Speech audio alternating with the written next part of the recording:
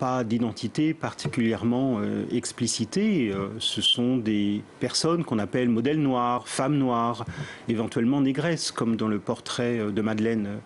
Bref, l'exposition essaie de leur donner une identité autant que possible, de restituer également des noms des recherches ont été faites dans cette direction qui montrent au fond que Paris en particulier au XIXe siècle était une ville déjà multiculturelle, qu'il existait un Paris noir dans les années 1850 avec des modèles occasionnels comme l'or qui pose derrière l'Olympia.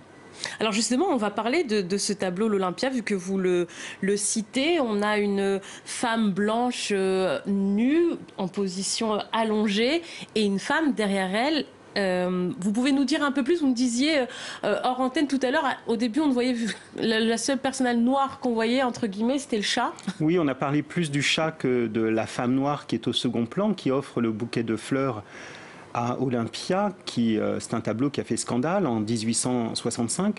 Mais au fond, on a très peu parlé jusqu'à présent de cette jeune femme au second plan qu'on connaît sous le nom de Laure, c'était son, son prénom. Manet en parle dans l'un de ses carnets où il conseille euh, à des amis peintres d'utiliser ce modèle occasionnel. On connaît même son adresse, figurez-vous, euh, rue Vintimille dans le 9e arrondissement.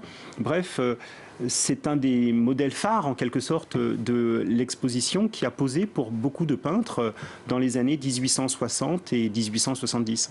Et donc l'exposition, elle restitue tout un pan finalement de la peinture, de la sculpture aussi, car il y a de très belles sculptures dans l'exposition, de la, de la photographie avec les photographies de Nadar par exemple, euh, qui euh, avait été un peu euh, invisibilisé en quelque sorte, qu'on ne voyait plus.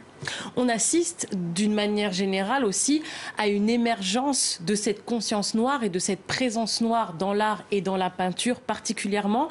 C'est dû à quoi? À des personnalités euh, qui, qui, veulent prendre conscience euh, de leur histoire, des descendants africains qui veulent montrer que de toute façon le noir existe depuis bien longtemps dans la société, comme vous le disiez?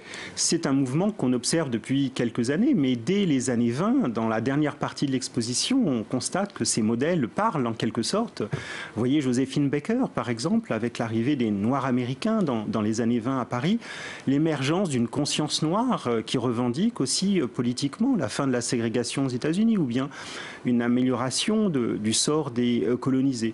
Donc il y a toute une histoire politique aussi qui est euh, en filigrane de cette exposition depuis la lutte contre l'esclavage au XIXe siècle jusqu'à euh, des luttes politiques plus contemporaines.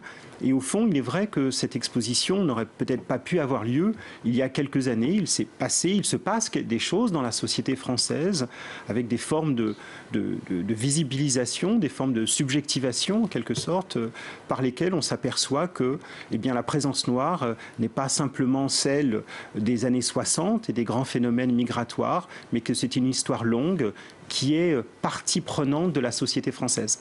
Et cette exposition va même au-delà, puisque je le disais, c'est aussi pour euh, retrouver une, identité au modèle. Vous parlez de, Madeleine, on va s'intéresser aussi à, ce tableau.